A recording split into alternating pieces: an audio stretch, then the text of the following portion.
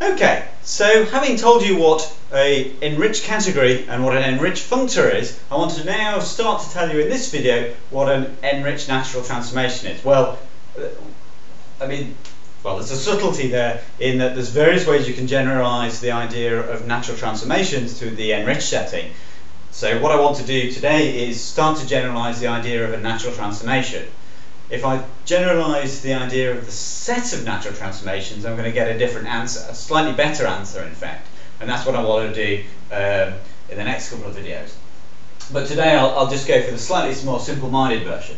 So let me just remind you um, what natural transformation is in the usual setting. So we have categories C and D and functors f and g from C to D, and a natural transformation from f to g consists of the data of for each um, object x in the category C, I want a morphism from f of x to g of x, so that whenever I've got a morphism f from x to y, then I get the naturality square, so this will give me a morphism from f of x to g of y in two different ways. I can, I can uh, make it in two different ways and they have to give me the same answer. So uh, that's what a natural transformation is, that data satisfying the, those conditions.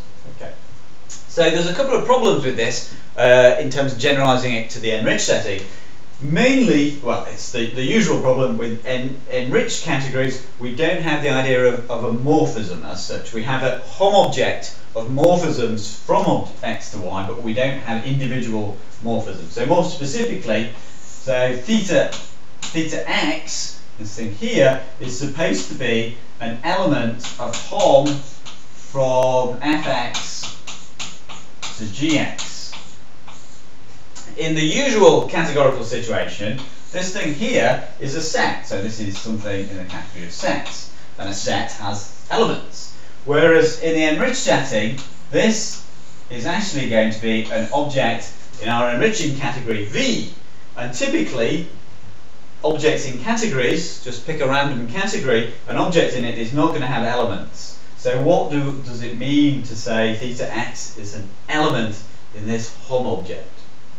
So there's a way around that, uh, sort of a na slightly naive way around it, but it'll be useful, but we're going to see a better way of doing things later. Uh, so suppose that V is a monoidal category,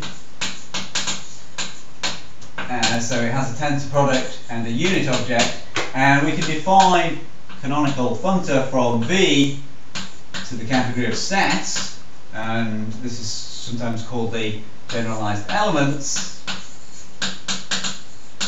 or just the elements, or the global elements. There's various uh, names for this functor, so it takes an object V, and what it does, it just takes this to the hom set from the unit object into the element V. Uh, so let's just have a look at a couple of examples. If we take the category V to be the category of sets, and the unit object is just your favourite uh, one object, uh, one element set rather, and a morphism, if we have a set V, then morphisms from one object set into V is just the same as V. So, uh, so gamma in this case is just identity. If we have the category of, let's say, complex vector spaces, the unit object is the complex numbers, and if we have a morphism from the linear map from the complex numbers to a vector space V, then you can just look at where the unit, the, the, the complex number 1 gets sent to, and that will give you a bijection with the original vector space. So this is just V, a vector space, goes to the underlying set um, of V, so that's not terribly interesting. Well, uh, it's on some level, but in the case that we're interested in, our category of non-negative real numbers uh, with infinity added, so the unit object is zero, and remember that the tensor product is addition, so the unit object is zero, and a morphism from the unit object to number v well, there's a morphism, so here v is, is the number, and that's going to go to um, well, what is the hom set? The hom set from 0 to anything is going to be empty unless 0 is bigger than or equal to that thing. So what we get is it's just going to be a single a single point if v equals 0 And if v is not equal to 0, then it's bigger than 0, so we don't get any morphisms from the unit object in, so it's going to be, oops, uh, the empty set otherwise.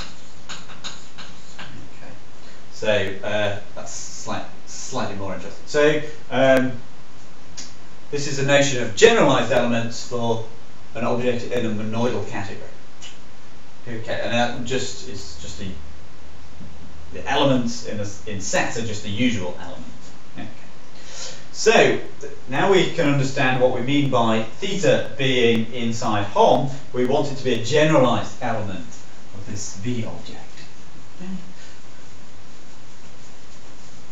So what we want is that to be a, a generalized element. Okay, so now we can say what we mean by a natural transformation. So if we have, in the, in the enriched setting, so if we have f and g from c to d, these are v functors, so we're enriching over some monoidal category v, and then we're going to define a natural transformation theta from f to g to be the following thing. So what we want is that for all x, strange, x, x in C, we are going to have a generalized element of the Hom set. So theta x is going to be something in gamma Hom from fx to gx.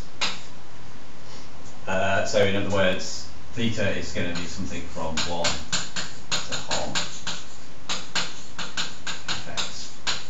gx. Um, okay, so we got around this bit. Now we have to rewrite this naturality square without mentioning morphisms anywhere. Um, and how do we do that? Well, the trick is that what we do, what we're doing here is we're associating to each morphism from x to y a morphism from f of x to g of y. So each morphism here in, in C, we're associating a morphism in, in D. So this is a this is actually a wall. Uh, this is something which sends hom from x to y to hom f of x g of y. So let me write this down. So I can write down this this naturality square in a slightly different way. So if we start with something hom from x to y, that's our f. If we start with our f in there, we want to end up with something from hom f of x to g of y.